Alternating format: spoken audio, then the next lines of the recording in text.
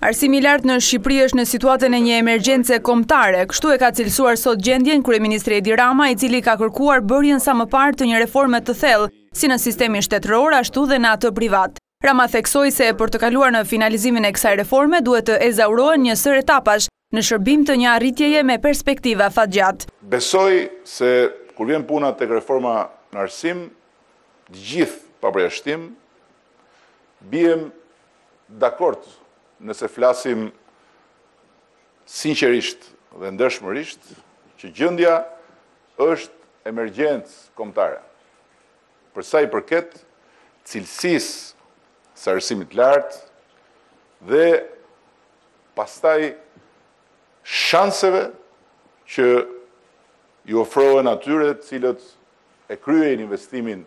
Gjatë prezantimit të reformës për arsimin e lartë, Kryeministri Rama tha se arsimi duhet që të ndahet nga llogoret e politikës dhe të bëhet me cilësi ndërkombëtare dhe i konkurrueshëm. Studiues të shquar apo njerëz sidoqoftë të ditur që ka qëlluar ta drejtojnë arsimin shqiptar në vite, Dhe kanë dhënë edhe mësim në institucionet e arsimit të lartë, nuk kanë arritur fatkeqësisht asnjëherë t'i japin drejtim sistemit arsimor për ta përputhur atë në një kohë të arsyeshme me sistemet e efektshme qoftë vendeve përreth, qoftë vendeve të Europës ku duam të integrohemi.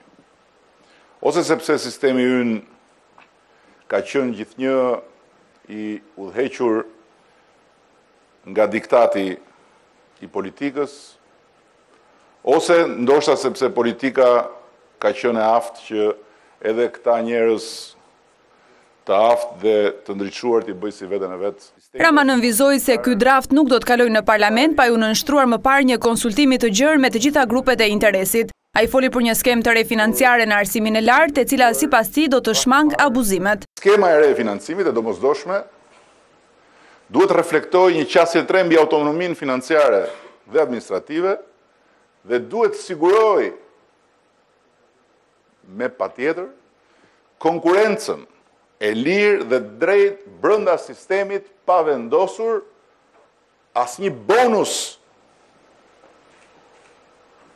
që privilegjon publikun mbi privatin. Arsim të lartë, jashtë meritës, unë besoj që nuk duhet të ketë. Ashtu sikundër arsim të lartë që nuk garanton meritën, unë besoj që nuk mund të ketë. Në këtë tryezë foli edhe Ministrja e Arsimit Lindita Nikolla, e cila tha se reforma do të jetë gjithëpërfshirëse. dhe se nga reformimi i arsimit të lartë do të përfitojnë të gjithë shqiptarët.